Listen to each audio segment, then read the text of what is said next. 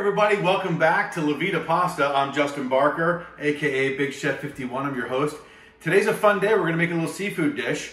Uh, you've heard of grouper piccata. Well, grouper, for those of you playing along at home, is about $27 a pound right now, unless you happen to live in Florida and go off coast fishing and catch one.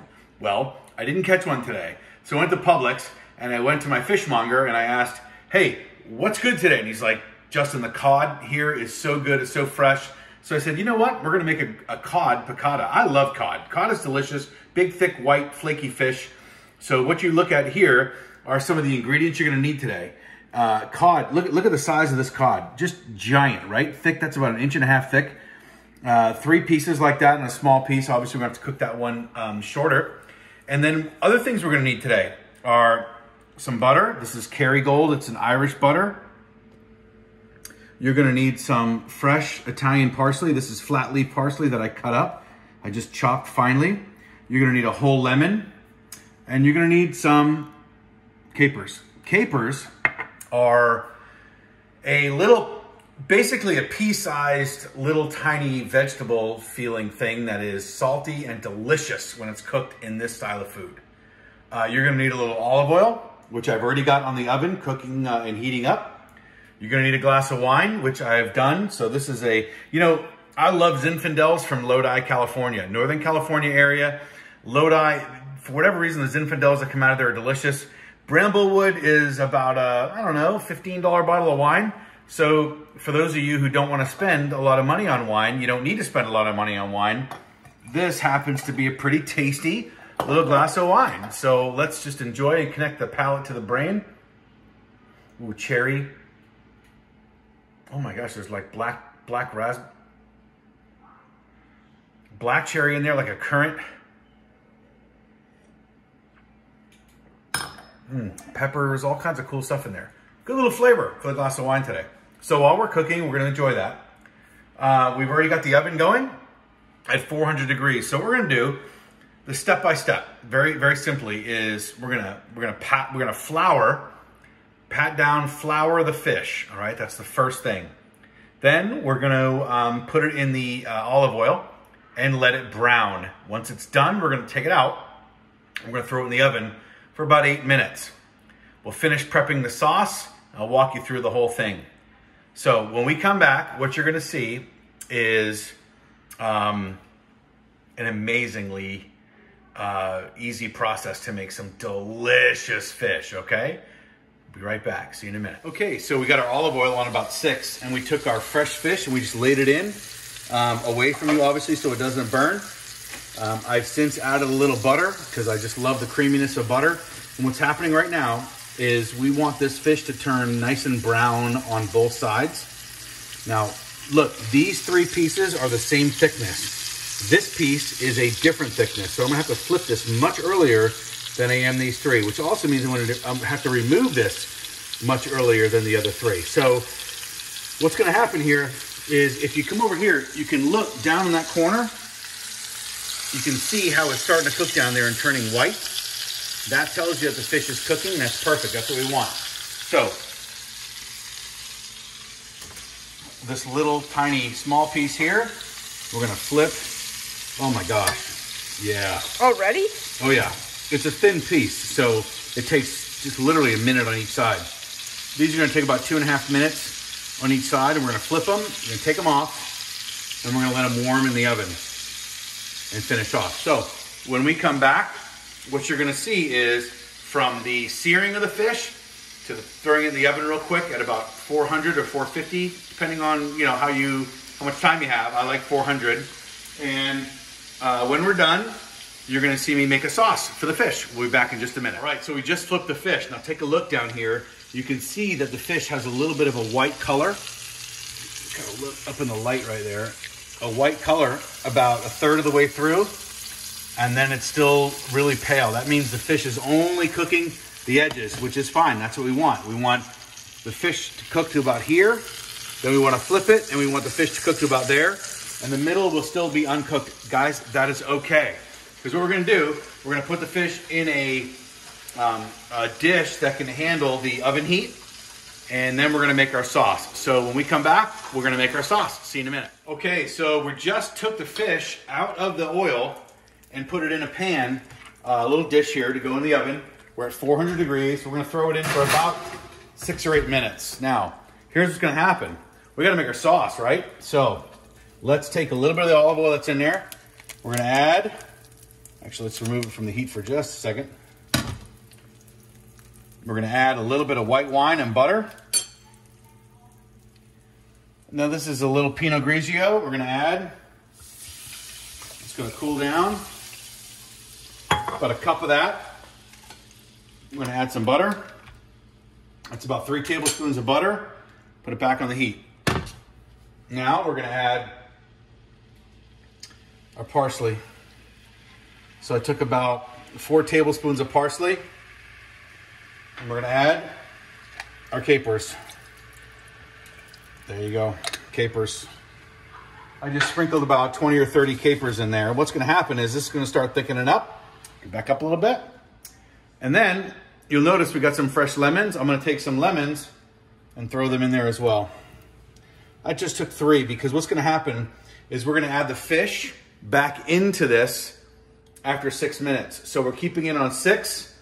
We're gonna stir, we're gonna move all those flavors around. You can, now here's where you add, if you like a little kick to things, this is where you add your crushed red pepper. Uh, you, this is where you add your extra pepper or salt. Uh, we don't cook with a lot of salt in this house unless we have to. In this situation, it could probably use a little salt and pepper because all I did was season the flour. So we'll add a little bit of, a little pinch of salt and pepper into the mix, a little seasoning. Can never go wrong there. Now you see it bubbling. Look at, look at it bubbling. Keep your eye on that. And what I'm gonna do, start stirring. See the capers in there, look at that. It's coming together.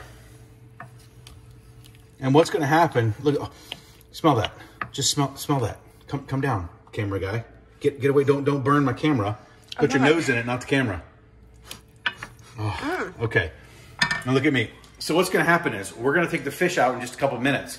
We're gonna throw the fish back in here, and what's gonna happen is it's gonna thicken up even more, and you're gonna get this incredible sauce over the top of that fish. When I come back, let's put it all together and have a taste test. I to show you a little side dish real quick, okay? Come on over here. This is a diced potato side dish. Now, what you have here are golden miniature potatoes. They're about that big around, maybe to that big when they're in like a oblong shape. I diced them so you can see what size they are.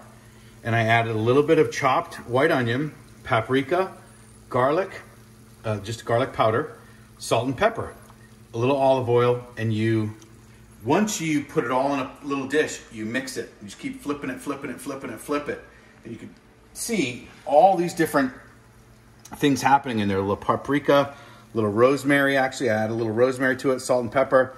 So when you do that, throw it in with your food for about 30 minutes and it becomes the ultimate side dish. So you're really getting a bonus dish tonight, um, a little side dish action. And uh, I actually have one more in store. So I'll see you back in a minute and we'll show you the third side dish. All right, so I told you we're gonna do a bonus third side dish tonight. This is a yellow squash. And what I did was coated them in olive oil, salt and pepper, and I threw them right on the grill. So look at this. Oh my gosh, they're crisping up nice with that. Oh, look at this. Oh my goodness. My gosh, these are gonna be so good. This is just a grilled vegetable heaven with all these different flavors. This takes about seven or eight minutes to cook, but when you're done, what you get is the most succulent flavor. So again, I, all I did was cut my, my yellow squash um, in half, and then I quartered it. I little olive oil, salt, pepper, garlic, and then threw it on the grill for about seven minutes, eight minutes max, and it's done. So um, I'll show you the complete meal here in just a minute. We'll be back. Okay, so I'm taking the fish out of the oven after about seven minutes. And look at that. It's, it's like literally 99.9% of the way cooked.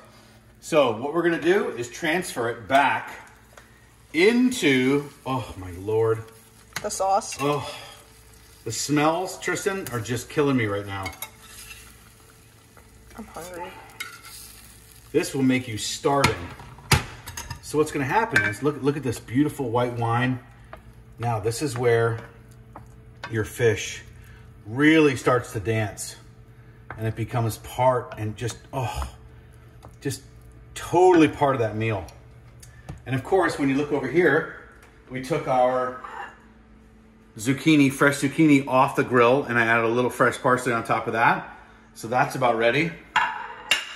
So taste test is in literally, just keep splashing that around a little bit over, you know, keep, keep uh, basting the um, sauce over the fish. And when we're done, we're gonna have the most incredible meal. You're not even gonna believe it. So we'll be right back. everybody, now is the time. We are absolutely at bingo time. Now look, look at the dish. We're gonna take a little bit of our leftover parsley, flat leaf parsley, a couple of lemons, lay them in. And but look at that dish. That is right out of the cookbook. It is perfection. Folks, you are absolutely gonna love this dish. I promise you. So let's take a fork and have a moment to do the taste test. This is Justin's Chef, Big Chef 51. This happens to be cod, but it's a, a grouper piccata. Mmm, mmm, mmm, mmm. Flavor's incredible. Let's try the potato. Oh. Mm. How about the, the um, yellow squash? Oh my lord. Oh, guys, listen to me. The capers come through with the saltiness on top of the fish, which with this beautiful light white wine, this butter. There's a lot of flavor going on here. You can do this. It's 15 minutes. Anybody can do this. What I want you to do, like, share, subscribe, have fun. God bless you guys. I love you. Stay safe during this COVID time. And uh, don't forget to thank your heroes, doctors, nurses, med techs, anybody on the front lines, and all of our uh, first responders. So thank you guys. See you next time on La Vita Pasta.